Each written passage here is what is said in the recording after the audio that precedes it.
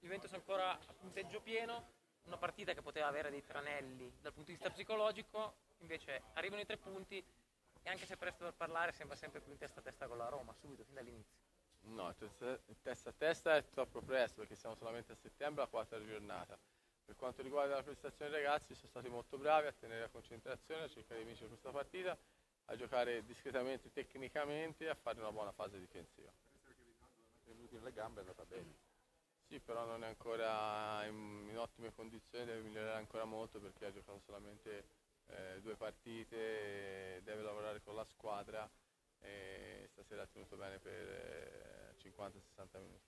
Adesso una settimana di quelle toste, ci sarà l'Atalanta, poi la partita Champions contro l'Atletico e poi la Roma. Eh, si parla già, per quanto sia prestissimo, di sfida per la testa classifica per contendersi lo scudetto? No, no, ci vuole, ci vuole calma in questo momento qui.